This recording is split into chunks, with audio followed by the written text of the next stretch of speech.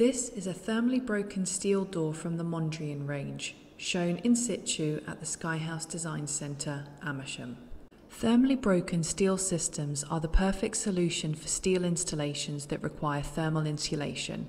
Most commonly, these are used to separate two different climates, like inside and outside, for instance.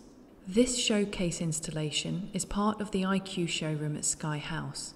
It includes several different types of opening window and doors, which allow you to get a broad overview of the Mondrian product. The Mondrian glazing range is the perfect window and door solution for projects that want lots of natural light but want to create the more industrial style that comes along with artisan steel products like this.